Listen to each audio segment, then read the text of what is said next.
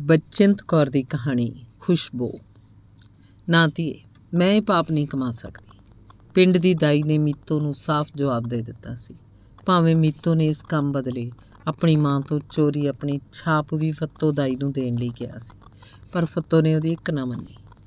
ਮੀਤੋ ਨੂੰ ਹੁਣ ਆਪਣੇ ਢਿੱਡ 'ਚ ਪਲਦੇ ਉਸ ਨਫ਼ਰਤ ਦੇ ਕੀੜੇ ਦਾ ਅਹਿਸਾਸ ਹੋਣ ਲੱਗ ਪਿਆ ਸੀ, ਜਿਹਨੂੰ ਖਤਮ ਕਰਨ ਲਈ ਉਹਨੇ ਕਈ ਔੜ-ਪੌੜ ਕੀਤੇ ਸੀ, ਪਰ ਉਹਨੂੰ ਸਫਲਤਾ ਨਹੀਂ ਸੀ ਮਿਲੀ। ਉਹ ਮਨ ਹੀ ਮਨ 'ਚ ਫੈਸਲਾ ਕਰਕੇ ਸਹੁਰੇ ਘਰੋਂ ਆਈ ਸੀ ਕਿ ਉਹ ਫਿਰ ਇਸ ਨਰਕ 'ਚ ਕਦੇ ਪੈਰ ਨਹੀਂ ਪਾਏਗੀ। ਉਸ ਘਰ ਨਾਲੋਂ ਸਾਰੇ ਰਿਸ਼ਤੇ ਤੋੜ ਕੇ ਹੀ ਪੇਕੇ ਘਰ ਆਈ ਸੀ। ਕਿੱਡਾ ਧੋਖਾ ਕੀਤਾ ਸੀ। ਮੀਤੋ ਨਾਲ ਉਹਦੇ ਸਹੁਰਿਆਂ ਨੇ 8ਵੀਂ ਪਾਸ ਮੁੰਡੇ ਨੂੰ 10ਵੀਂ ਪਾਸ ਦੱਸਿਆ ਸੀ। ਚਪੜਾਸੀ ਦੀ ਨੌਕਰੀ ਨੂੰ ਕਲਰਕ ਦੀ ਨੌਕਰੀ ਦੱਸਿਆ ਸੀ ਤੇ ਮੁੰਡੇ ਦੇ ਸਾਰੇ ਐਬਾਂ ਨੂੰ ਉਹਦੀ ਮਾਂ ਨੇ ਝੂਠ ਬੋਲ ਬੋਲ ਛੁਪਾ ਲਿਆ ਸੀ। ਵਿਚੋਲੇ ਨੇ ਵੀ ਰੋਡੂ ਦੀ ਮਾਂ ਨਾਲ ਪੂਰੀ ਤਰ੍ਹਾਂ ਹਾਂ 'ਚ ਹਾਂ ਮਿਲਾਈ ਸੀ ਉਸ ਸਮੇਂ। ਤਾਂ ਕਿ ਕਿਸੇ ਤਰ੍ਹਾਂ ਮੀਤੋ ਦਾ ਰਿਸ਼ਤਾ ਰੋਡੂ ਨਾਲ ਹੋ ਜਾਏ। ਪਰ ਮੁਕਲਾਵੇ ਤੋਂ ਤੀਜੀ ਰਾਤ ਹੀ ਜਦੋਂ ਰੇ- ਰੋਡੂ ਅੱਧੀ ਰਾਤ ਤੱਕ ਘਰ ਨਾ ਮੁੜਿਆ, ਤਾਂ ਉਹਦੀ ਮਾਂ ਪਰੇਸ਼ਾਨ ਘੜੀ ਮੁੜੀ ਰੋਡੂ ਦੇ ਆਉਣ ਦੀਆਂ ਬਿੜਕਾਂ ਭੰਨਣ ਲੱਗੀ। ਅਚਾਨਕ ਕਿਸੇ ਨੇ ਹੌਲੀ ਜਿਹੀ ਮੀਤੋ ਦੀ ਸੱਸ ਨੂੰ ਆਵਾਜ਼ ਦਿੱਤੀ, ਤਾਈ ਬੂਆ ਖੋਲ ਛੇਤੀ। ਬਾਹਰ ਬੰਤਾ ਰੋਡੂ ਦਾ ਸ਼ਰੀਕੇ ਚੋਂ ਲੱਗਦਾ ਭਰਾ ਖੜਾ ਸੀ। ਉਹਨੇ ਰੋਡੂ ਦੀ ਮਾਂ ਨੂੰ ਦੱਸਿਆ ਵੀ ਰੋਡੂ ਨੂੰ ਬਹੁਤ ਸੱਟ ਲੱਗੀ ਹੈ। ਉਹਦੀ ਸੱਜੀ ਟੰਗ ਦੀ ਇੱਕ ਹੱਡੀ ਬਿਲਕੁਲ ਟੁੱਟ ਗਈ ਹੈ। ਤੇ ਅੱਜ ਫਿਰ ਉਹਨੂੰ ਪੁਲਿਸ ਵਾਲਿਆਂ ਨੇ ਰਾਤ ਦੀ ਡਿਊਟੀ ਸਮੇਂ ਜੂਆ ਖੇਡਦਿਆਂ ਦੇਖ ਲਿਆ ਸੀ ਤੇ ਪੁਲਿਸ ਦੇ ਡਰ ਤੋਂ ਅੰਨ੍ਹੇਵਾਹ ਹਨੇਰੇ 'ਚ ਭੱਜ ਉੱਠਿਆ ਤੇ ਜਾ ਗੰਦੇ ਨਾਲੇ 'ਚ ਡਿੱਗਿਆ ਅੰਦਰ ਪਲੰਗ ਤੇ ਬੈਠੀ ਦੀ ਮੀਤੋ ਤੋਂ ਉਹਦੀ ਸੱਸ ਨੇ ਭਾਵੇਂ ਬਹੁਤ ਕੁਝ ਪਾਉਣਾ ਚਾਹਿਆ, ਫਿਰ ਵੀ ਮੀਤੋ ਨੂੰ ਇੰਨਾ ਕੁ ਪਤਾ ਜ਼ਰੂਰ ਲੱਗ ਗਿਆ ਕਿ ਅੱਜ ਰਾਤ ਜੂਏ 'ਚ ਰੋਡੂ ਨੇ ਮੀਤੋ ਦੀਆਂ ਦੋਵੇਂ ਛਾਪਾਂ ਤੇ ਘੜੀ ਹਾਰ ਦਿੱਤੀ ਹੈ ਤੇ ਉੱਪਰੋਂ ਲੱਤ ਤੜਵਾ ਬੈਠਾ ਹੈ। ਜਿਵੇਂ ਕਿਵੇਂ ਲੋਕ ਇਲਾਜ ਲਈ ਮੀਤੋ ਨੂੰ ਉਦੋਂ ਤੱਕ ਸਹੁਰੇ ਘਰ ਰਹਿਣਾ ਪਿਆ ਜਦੋਂ ਤੱਕ ਹਸਪਤਾਲ ਵਾਲਿਆਂ ਨੇ ਰੋਡੂ ਦੀ ਲੱਤ ਦੇ ਆਪਰੇਸ਼ਨ ਪਿੱਛੋਂ ਪਹਿਲਾ ਪਲਸਤਰ ਨਾ ਖੋਲਿਆ ਰੋਡੂ ਹੁਣ ਮੰਜੇ ਤੇ ਪਿਆ ਵੀ ਆਪਣੀ ਮਾਂ ਨੂੰ ਗਾਲਾਂ ਕੱਢ ਉਸ ਕੋਲੋਂ ਸ਼ਰਾਬ ਲਈ ਪੈਸੇ ਲੈਂਦਾ ਤੇ ਛੋਟੇ ਭਰਾ ਕੋਲੋਂ ਜ਼ਬਰਦਸਤੀ ਸ਼ਰਾਬ, ਸਿਗਰਟ ਮੰਗਾ ਕੇ ਪੀਂਦਾ ਰਹਿੰਦਾ। ਰੋਡੂ ਦੀ ਵਿਧਵਾ ਮਾਂ ਐਬੀ ਪੁੱਤ ਹੱਥੋਂ ਤੰਗ ਆਈ ਹੋਈ। ਦਿਨ 'ਚ ਕਈ ਕਈ ਵਾਰ ਰੋ ਲੈਂਦੀ ਸੀ, ਪਰ ਫਿਰ ਝੱਟ ਮੀਤੋ ਦਾ ਮੂੰਹ ਦੇਖ ਉਹ ਆਪਣੇ ਸਾਰੇ ਅਥਰੂ ਚੁੰਨੀ ਦੇ ਪੱਲੇ ਨਾਲ ਪੂੰਝ ਸੁੱਟਦੀ। ਨਵੀਂ ਵਿਆਹੀ ਮੀਤੋ ਦੀਆਂ ਸਾਰੀਆਂ ਸੱਦਰਾਂ ਢਹਿ ਢੇਰੀ ਹੋ ਚੁੱਕੀਆਂ ਸਨ। ਜੂਏ ਸ਼ਰਾਬ ਤੇ ਬਿਮਾਰੀ ਹੱਥੋਂ ਤੰਗ ਆਈ। ਉਹਦੀ ਸੱਸ ਨੇ ਰਹਿੰਦਾ ਖੁੰਦਾ ਟੂਮ ਟੱਲਾ ਵੀ ਗਹਿਣੇ ਰੱਖ ਦਿੱਤਾ ਸੀ ਤੇ ਹੁਣ ਚਾਰ ਚੁਫੇਰੇ ਉਹਦਾ ਵਾਲ-ਵਾਲ ਕਰਜ਼ੇ ਨਾਲ ਵਿੰਨਿਆ ਪਿਆ ਸੀ। ਪਰ ਰੋਡੂ ਨੂੰ ਨਾ ਆਪਣੀ ਮਾਂ ਦੀ ਸ਼ਰਮ ਸੀ, ਨਾ ਮੀਤੋ ਦੀਆਂ ਢਹਿ ਢੇਰੀ ਹੋ ਚੁੱਕੀਆਂ ਸਦਰਾਂ ਦਾ ਭੋਰਾ ਭਰ ਵੀ ਅਹਿਸਾਸ ਸੀ। ਸਾਰਾ ਦਿਨ ਮੰਜੇ ਉੱਪਰ ਪਿਆ ਆਪਣੀ ਮਾਂ ਨੂੰ ਆਨੇ ਬਹਾਨੇ ਗਾਲਾਂ ਕੱਢਦਾ ਰਹਿੰਦਾ। ਛੋਟੇ ਭਰਾ ਦੀ ਜ਼ਰਾ ਜਿੰਨੀ ਭੁੱਲ ਤੇ ਕਚੀਚੀਆਂ ਵਟਣ ਲੱਗ ਪੈਂਦਾ। ਪਰਾਂ ਬੁੱਤ ਬਣੀ ਬੈਠੀ ਮੀਤੋ ਵੱਲ ਬਿਟ-ਬਿਟ ਤੱਕਦਾ। ਖਬਰੇ ਕਿਸ ਮਿੱਟੀ ਦਾ ਬਣਿਆ ਹੋਇਆ ਸੀ ਕਿ ਉਹਨੂੰ ਕਿਸੇ ਦੀ ਤਕਲੀਫ ਦਾ ਅਹਿਸਾਸ ਹੀ ਨਹੀਂ ਸੀ ਹੁੰਦਾ। ਆਪਣੀ ਕੀਤੀ ਤੇ ਉਹਨੇ ਕਦੇ ਭੋਰਾ ਭਰ ਵੀ ਸ਼ਰਮ ਹਿਆ ਨਹੀਂ ਸੀ ਆਈ। ਉਹਨੇ ਤਾਂ ਆਪਣੇ ਵਿੱਚ ਕਦੇ ਕੋਈ ਘਾਟ ਮਹਿਸੂਸ ਹੀ ਨਹੀਂ ਸੀ ਕੀਤੀ। ਸਾਰਾ ਘਰ ਇੱਕ ਬੰਦੇ ਦੇ ਕਾਰਨ ਨਰਕ ਬਣਿਆ ਪਿਆ ਸੀ।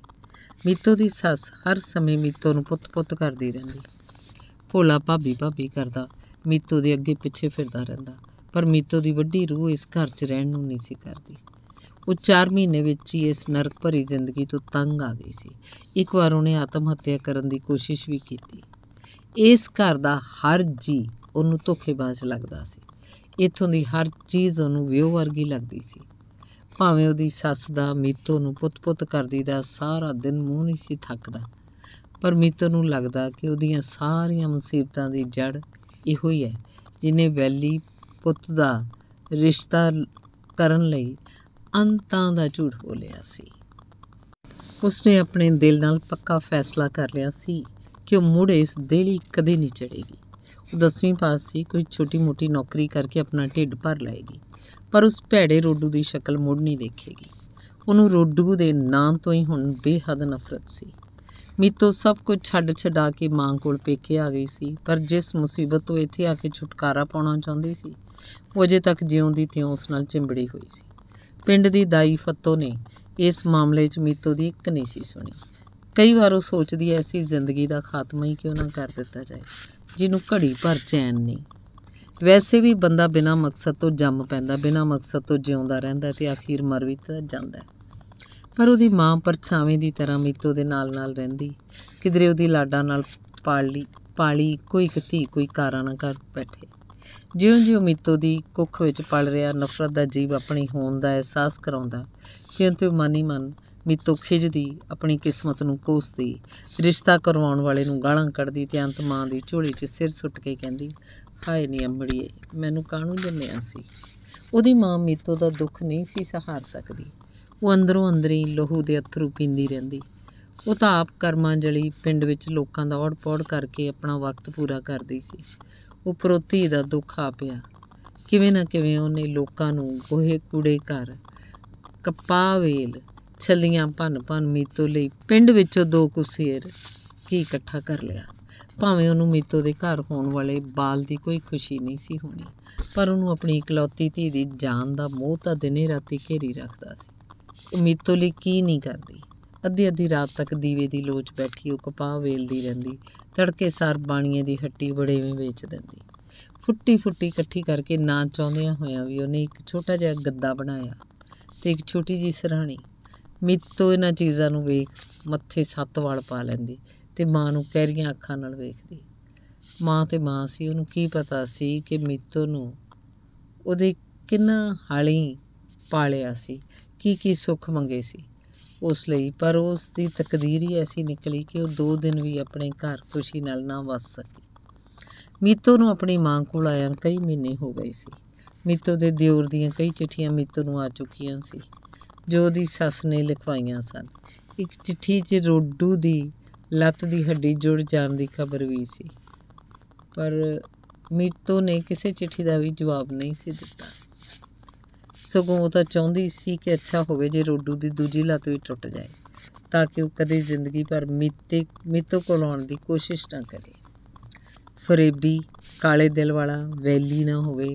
ਨਾ ਜਾ, ਜਾਣੇ ਮਨ ਹੀ ਮਨ, ਉਹ ਰੋਜ਼ ਰੋਡੂ ਨੂੰ ਕਿੰਨਾ ਬੁਰਾ ਭਲਾ ਕਹਿੰਦੀ ਸੀ, ਕਿਉਂਕਿ ਰਾਤ ਨੂੰ ਸਿਆਹੀ ਦੇ ਦਾਗ ਦਾ ਇੱਕ ਬੋਝ ਉਹ ਹਰ ਸਮੇਂ ਆਪਣੇ ਨਾਲ ਚੁੱਕੀ ਫਿਰਦੀ ਸੀ, ਜਿਸ ਤੋਂ ਉਹਨੂੰ ਅੰਤਾਂ ਦੀ ਨਫ਼ਰਤ ਸੀ। ਅਖੀਰ ਉਹ ਦਿਨ ਆ ਗਿਆ।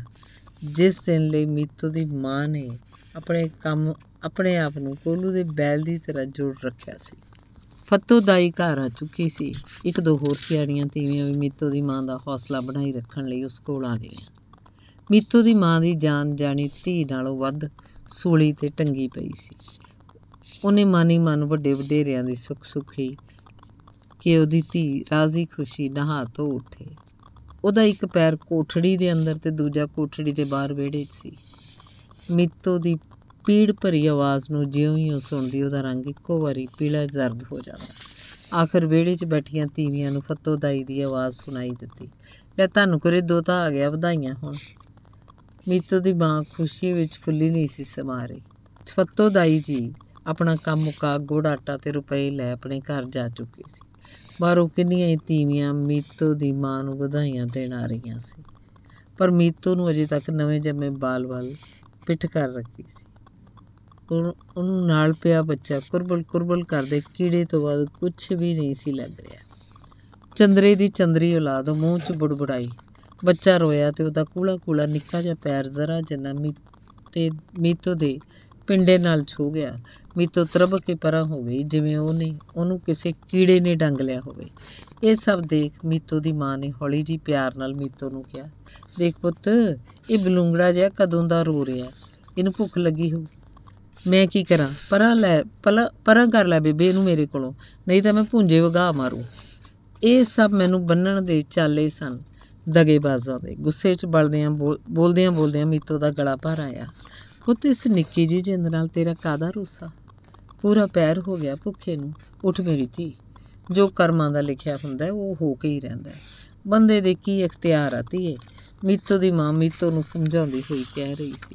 ਮੀਤੋ ਨੇ ਜ਼ਰਾ ਕੋ ਪਾਸਾ ਪਰਤਿਆ। ਝੱਟ ਦੀ ਮਾਂ ਨੇ ਬੱਚੇ ਦੀਆਂ ਅੱਖਾਂ ਉੱਪਰ ਦੋਵੇਂ ਹੱਥਾਂ ਦਾ ਉੱਲਾ ਕਰਕੇ ਮੁੰਡੇ ਦਾ ਮੂੰਹ ਮੀਤੋ ਦੇ ਕੋਲ ਕਰ ਦਿੱਤਾ।